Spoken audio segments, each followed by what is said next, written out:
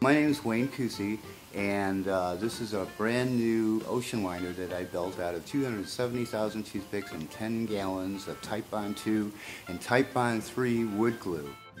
So I built them large basically to get the details in there. You know, as you could, if you, if you look at the ship, it's pretty well detailed.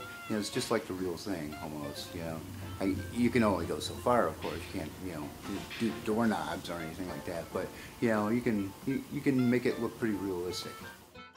Well, I work on these things after work, on weekends, collectively. It took a couple of thousand man hours, I would say like two years. Everything on here is cladded, toothpicks, and all the upper decks here, toothpicks. Yeah, it's mostly toothpicks with the exception of the masks, which are made from Dalras.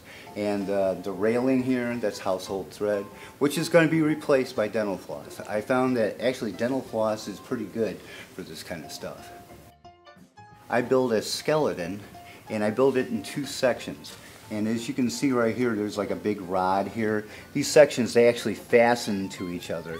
And I use this rod kind of as, as a, as kind of like a, like a deadbolt lock system. You know, it joins like this, and then the rod goes down in the middle.